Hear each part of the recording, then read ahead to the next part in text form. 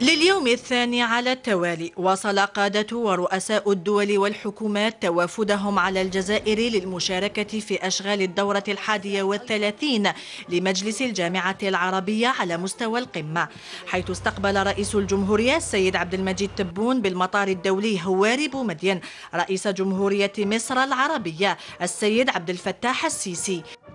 ليستقبل بعده رئيس الجمهورية السيد عبد المجيد تبون السيد قيس سعيد رئيس الجمهورية التونسية. كما استقبل السيد الرئيس السيد إسماعيل عمر جيلة رئيس جمهورية جيبوتي.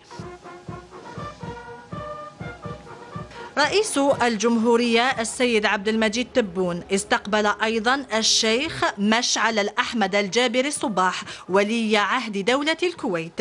واستقبل رئيس الجمهورية عبد المجيد تبون أمير دولة قطر الشيخ تميم بن حمد آل ثاني كما حل بالجزائر رئيس جمهورية الصومال الفيدرالية السيد حسن الشيخ محمود.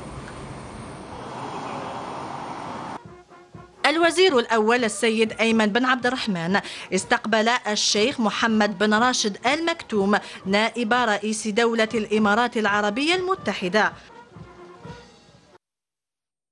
ووزير الخارجية السيد رمطان العمامرة استقبل هو الآخر كلا من ضيف شرف الدورة الحادية والثلاثين للقمة العربية الأمين العام لمنظمة الأمم المتحدة أنطونيو غوتيريش ووزير خارجية المملكة العربية السعودية الأمير فيصل بن فرحان آل سعود.